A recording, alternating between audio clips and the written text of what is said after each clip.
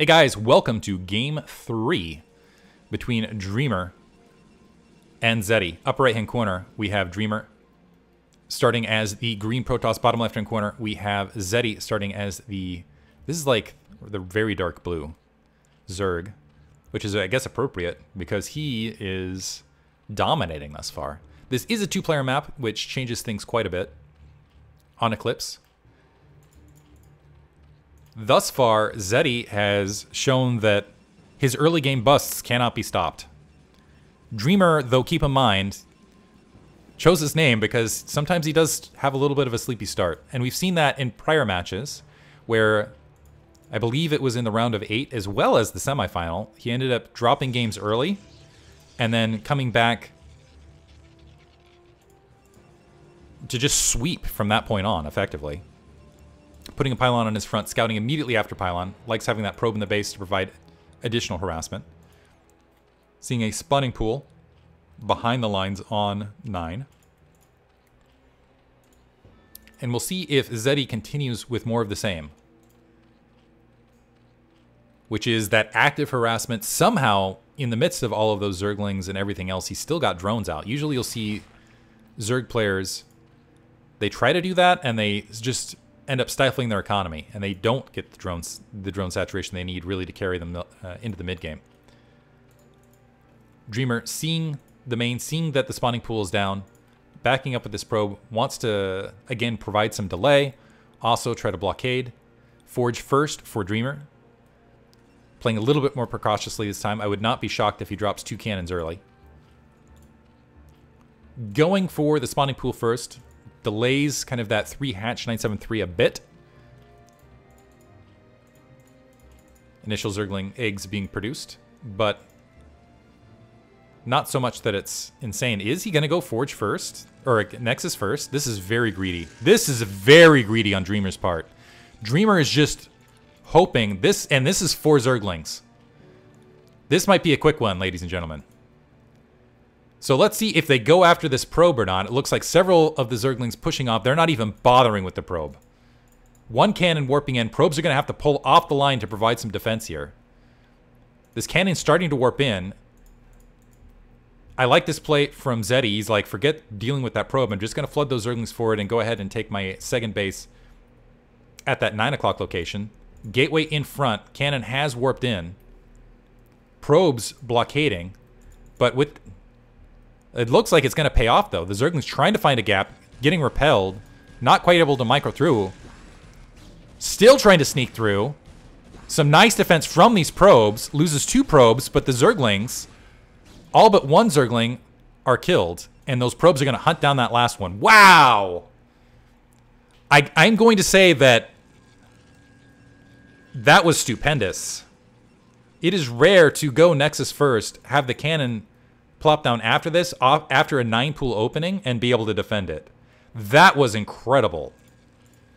Well played by Dreamer. Putting on a clinic on the front. We do have that natural expansion being taken here by Zeddy. Extractor warping in. He doesn't have map control, which is going to allow this probe to sneak through. He lost all of those Zerglings. And that's going to allow additional scouting information for Dreamer as well. Moving the Zealot forward maybe trying to force some additional probes to be, this is interesting, building the, the cybernetics core along that natural expansion. Maybe he wants to hide a bit of his tech as well. The assimilator, not the assimilator, the extractor up, the probe trying to do a little bit of harassment in that probe line, the Zelt making its way across, the, Zealot, the Zerglings trying to create a little bit of a blockade. We already have two drones here starting their mining. This is going to slow down a potential all-in even longer. Four Zerglings there to greet that Zealot. If that probe can come back and engage this attack, that might be advantageous. But it looks like that Zealot's just going to go ahead and try to wander up to this 9 o'clock base spot where that additional hatchery is. Maybe. Never mind. He's just going to try to find a pocket, perhaps, to engage these Zerglings. He's instead wandering all over the map and drawing these Zerglings all the way away. Two more Zerglings have been produced right there. Just trying to be annoying. Now engaging, trying to stutter step here. Some nice micro only manages to get two, two, and I'll call that a half, two and a half Zerglings. Another Zealot making his way across. So Dreamer this time putting on the pressure. Four Zerglings now at the natural expansion. We're almost seeing a, maybe an inversion here. Zeddy trying to sneak drones where he can. The probe making its way back across gets very quickly taken out. The Overlord over that natural expansion is going to see that Stargate warping in. And we are seeing a Lair this time. And this is what I was talking about. We, we've seen the flexibility of Zeddy thus far to have multiple builds. This is where Dreamer really... Oh, let's see if he can get an Overlord, or not an Overlord, that Zealot, someplace where he can provide some scouting information. Building a Dragoon, which actually slows a lot of this tech down as well. It's going to sneak in, be able to get an Overlord kill, which is going to put Zeddy in the red. And on top of that, the Zealot has managed to get a kill at that 9 o'clock base. Additional hatchery being planted there. So it looks like Zeddy was planning going for more of that 4 hatch, potential 5 hatch uh, Spire first to get just some initial Scourge, but it does open up that threat. Zealot going, getting uh, flushed out by these Zerglings. Nice micro, though, getting as many Zergling kills as possible. So usually you stick on four hatches a little bit longer until you get that Hydralisk stun down. But what this does do is this gives Dreamer a bit of a reprieve to go ahead and get his tech up. Level 1 weapons, upgrading the Corsair moving out. Citadel of Adun in that backfield. Usually what follows this is around an 11 minute Zealot timing attack. We'll see what he opts for. There's the fifth hatchery following. I feel like Dreamer's done a fantastic job of doing all sorts of harassment thus far. This Corsair should be able to get another Overlord kill before there are defensive Scourge anywhere. And also seeing this additional hatchery lets him know that even though even though he will see Scourge out in the air, that it is more of a long-term economic build. Although Zerg is very flexible, can switch back. Hydralisk Den now at the natural expansion. This kill is going to go ahead and put Zeddy again in the red, and he's actually going to plop down the fifth hatchery at that third base, providing a little bit of a Sim City here. And actually, is he going to get a bonus Overlord? Might even get an additional Overlord on top of everything else. Incredible. I don't see any Scourge yet. He couldn't produce Scourge because he was supply blocked, right?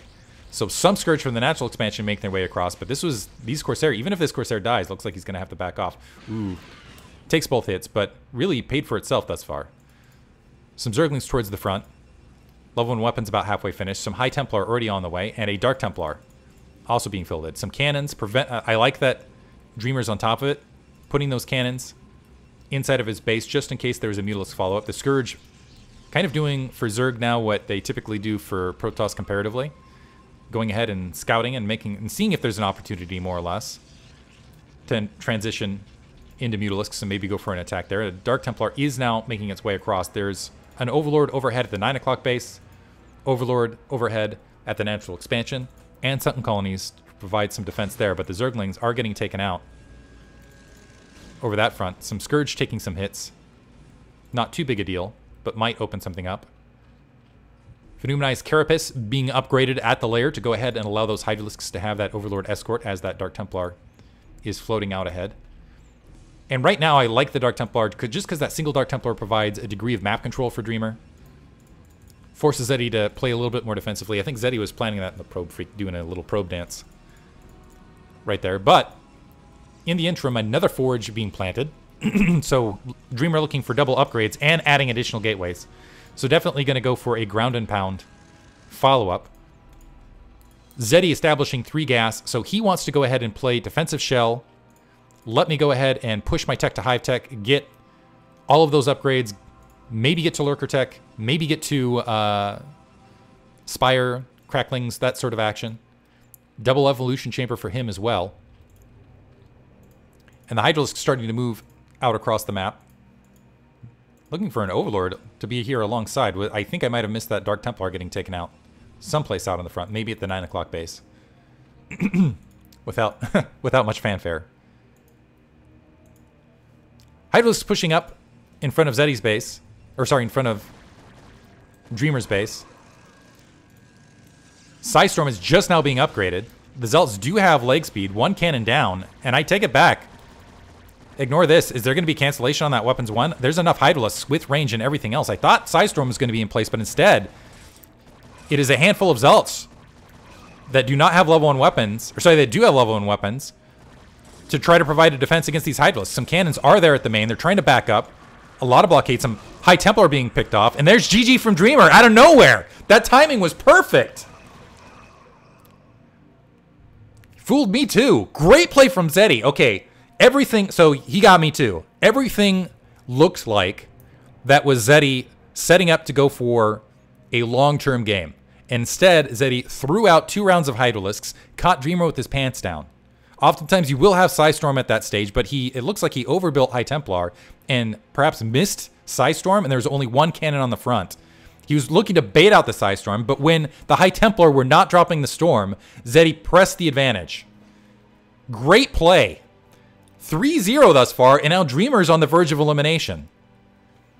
So we are going to move on to Shakura's Plateau, a more macro-oriented map, but Dreamer is in trouble. And honestly, I felt like this was his best showing. One huge critical mistake can cost you the finals. I'm hoping Dreamer will wake up and we'll have a series after this, but thus far, Zeddy just dominating. Thanks for listening.